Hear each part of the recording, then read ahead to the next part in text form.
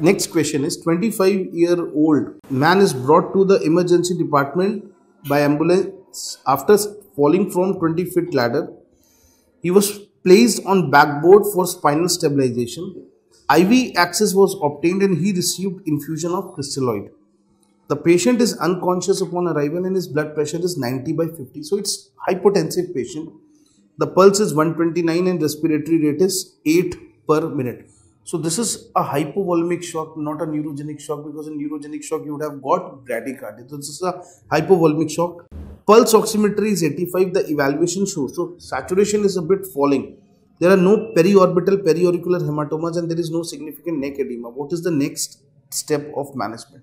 Always remember whenever we have a trauma patient, before we do anything, we have to follow the concept of securing airway and spine securing airway and spine. Now spine the patient has been placed on the black back hard board for the spine stabilization. What about the airway? For airway you require orotracheal intubation in this case. So orotracheal intubation should be the next which is done. And after this you will follow anything.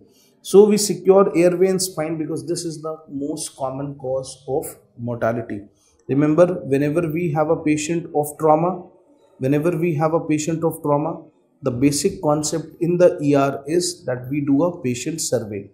Remember, when we talk about the patient survey, patient survey and resuscitation, resuscitation, they always go parallel.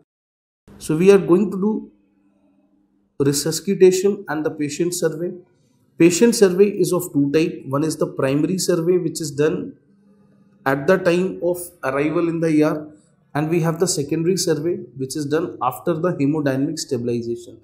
According to this concept, we follow the concept of after securing airway and cervical spine. After securing airway and cervical spine, we start we start with A, B, C, D, E. So this is assessment of airway, breathing, circulation disability and exposure.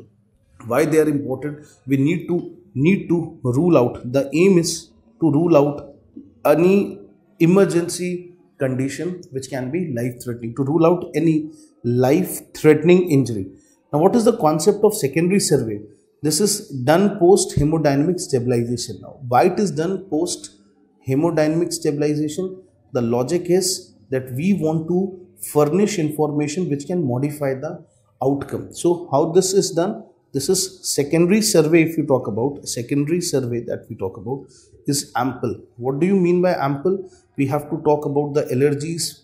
So we have to take it out from the history that whether patient is allergic to any drug or no. M for medication, M for medication, P for past medical history, past medical history, if you are dealing with a female patient, pregnancy status, L for the last meal because patient might require a surgical intervention also and E is the event of trauma. So this is how we approach these patients.